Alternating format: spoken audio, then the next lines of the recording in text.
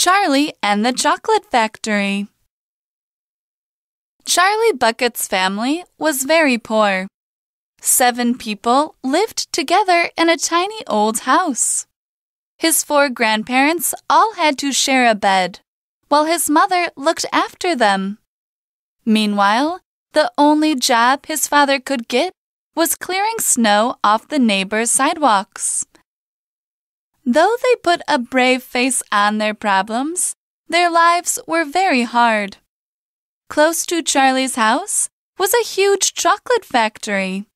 It was owned by the chocolate genius, Willy Wonka.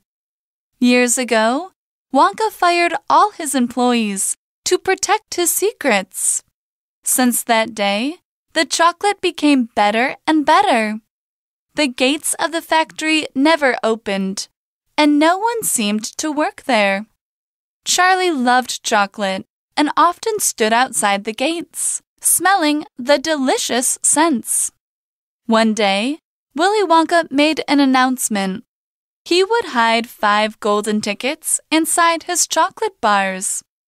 The five lucky people who found them would be invited to tour his chocolate factory. The hunt was on. Vocabulary Meanwhile, Frank was watching TV in the living room. Meanwhile, Vera was reading a book in the garden. Employee The employees at this company get one hour for their lunch break.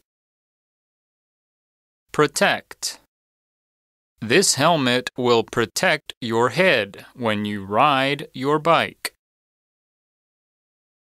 Gate The farmer opened the gate to let the cows out of the field.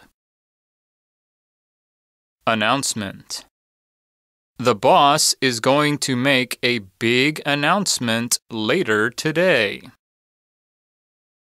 Hunt It's a tradition in some countries to have an egg hunt on Easter Sunday.